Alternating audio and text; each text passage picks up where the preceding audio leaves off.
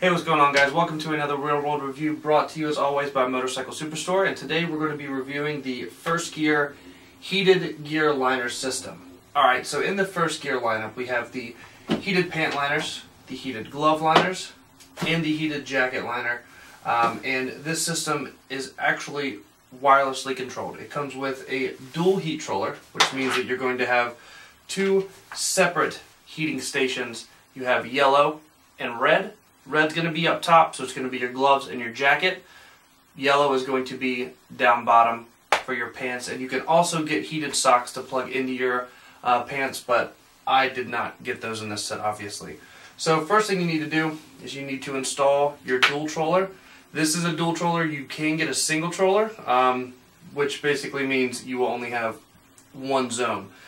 Dual, two, obviously. This is dual. Alright, so before you can actually throw the gear on and start enjoying the advantages of having heated gear, especially if you live in a place where it gets really cold in the winter, you have to set it up. Now, setup is very easy. You're going to have your dual heat troller, which is what I have. You can also have a single heat troller. Um, basically, the difference is there are two different zones, red and yellow. With your wireless remote, you have red and yellow. Basically, the wireless remote, you have two knobs. Red's going to control red, yellow to yellow, obviously. The first thing you have to do in order to use your heated gear is you have to install this troller. This is basically, if you want to think of it in terms of a motorcycle, this is your ECU. This controls everything. This makes sure the magic happens whenever you turn that switch on. This is going to make sure everything heats up. Now, this is the jacket, obviously. You're looking at it from the front view. Where you're going to install this troller is right inside of your left pocket. If you pull this pocket, flip it inside out, you're going to see that you have this little pouch. These are your two shorter cords for your two heat zones. The longer with the red tip is going to be your power source. That's what you're going to actually plug into the bike. So two holes in the bottom of this pouch. On the right side, if you're looking facing the jacket, it's going to be a larger outlet. That is going to be what you're going to feed your two heat zone cords through. Pull both of those through. Then you're going to feed your power supply cord through the hole on the bottom left.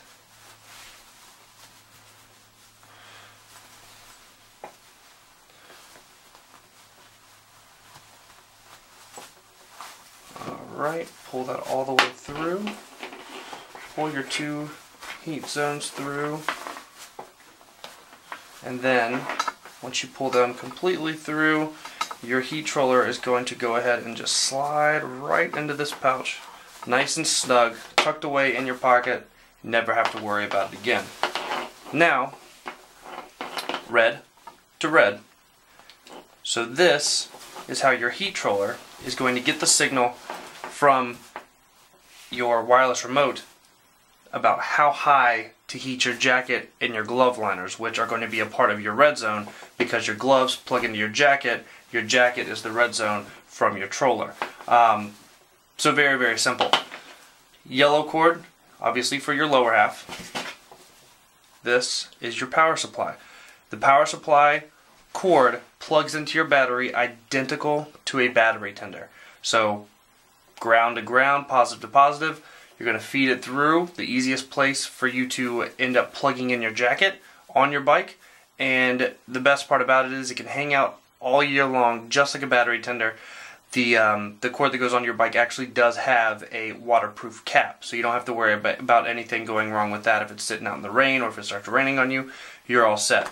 So now that you've seen how to install the heat troller, I'm going to go ahead, show you how to put on all this gear, get everything set up correctly so you can enjoy the comforts of riding with the heated gear on. Alright, so the first step is obviously to go ahead and throw on your heated jacket.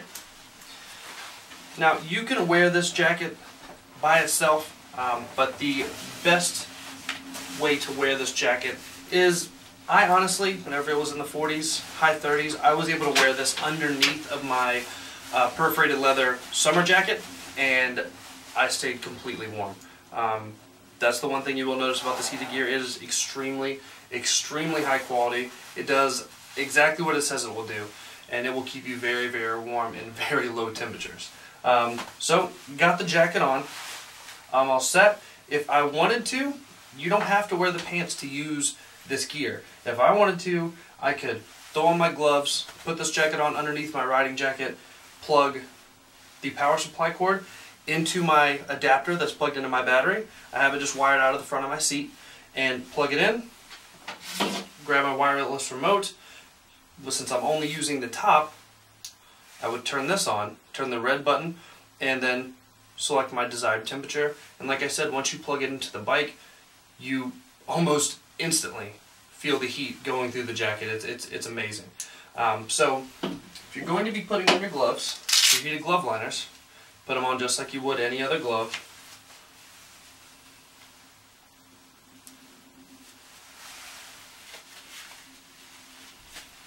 Flip the strap over. And then obviously I already have my wires pulled out, but hidden underneath the zipper right here is going to be your wire for your heated glove liners. Pull it over, push it into your glove liner, and then you can go ahead play with this wire as much as you want to get it to the desired amount that you want to have hanging out.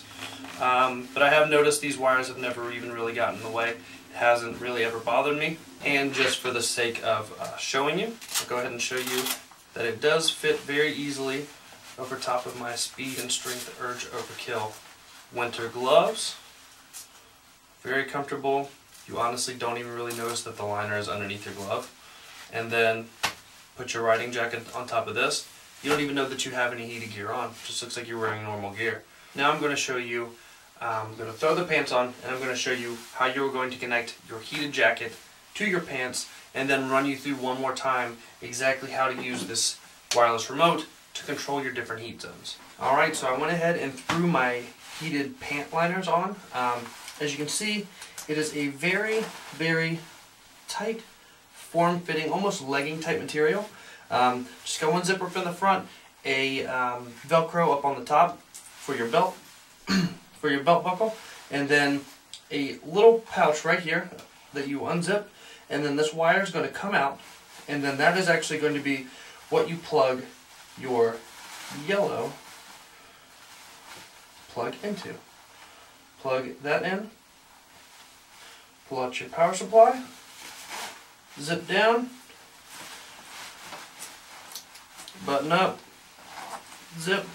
Now your pants are connected to your jacket and that is going to allow you to, to utilize your yellow zone on your wireless remote. So now that we're like this, you throw your heated glove liners on, plug them in with the supplied wires that come out of the wrist, plug yourself into the bike, and you're ready to go.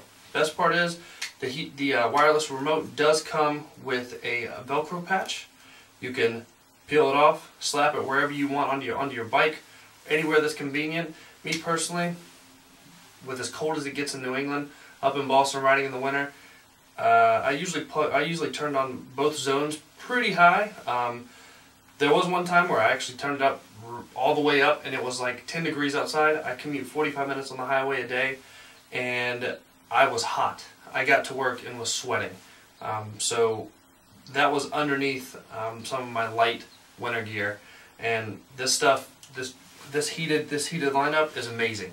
Uh, I left one day for work. It was one degree outside, and I'm going 80 miles an hour on the highway, completely fine.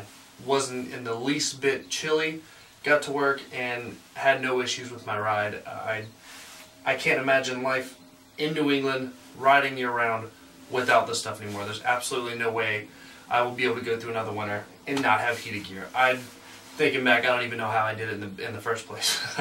um, so I absolutely recommend the first gear heated lineup um, for their liners. They do make actual gear, uh, actual like winter gear with the heated elements integrated in. So if that's something that you would look into, um, that's another option. Uh, but if you already have a pretty legitimate setup for um, colder or all weather uh, purposes, this is a very good option because you can always throw this on underneath. Like I said, most of the stuff is very form-fitting. Glove liners, you can't even feel them. I'm wearing my jeans, and if I couldn't feel how snug the, um, the heated pant liners are on my legs, I wouldn't even know they were there. My jeans don't fit any differently, um, and I have no issues with them. So definitely check out the First Gear heated liner lineup. Uh, there's going to be links in the description for everything I talked about in this. Um, if you are very interested in this product, smack the link, grab some. Uh, they're really, really high quality products. So definitely go check them out. First Gear, and thanks again to Motorcycle Superstore. Thank you guys for watching. Hope you enjoyed, and have a good one. Peace!